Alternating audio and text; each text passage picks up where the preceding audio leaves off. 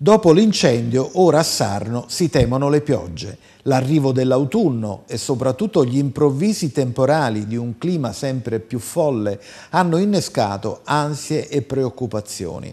Per il geologo Franco Ortolani il rischio di colate è elevato. L'incendio infatti ha modificato la stabilità del versante del Monte Saretto.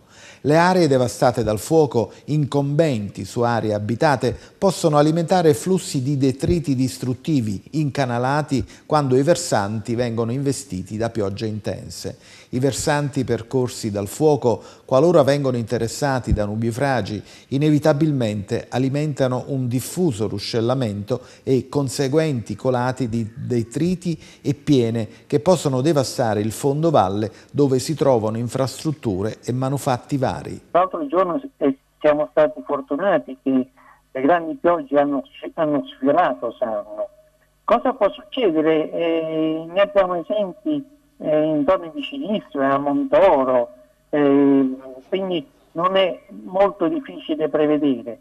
Tutto il legno che si è bruciato, tutta la vegetazione che stabilizzava i versanti adesso invece è diventato con la cenere materiale che invece di favorire l'infiltrazione favorisce lo scorrimento dell'acqua lungo i versanti. Per cui un nubifragio, eh, 50-70 mm in un'ora ad esempio, può attivare un deflusso che attiva detriti, colate che possono invadere l'area abitata a valle.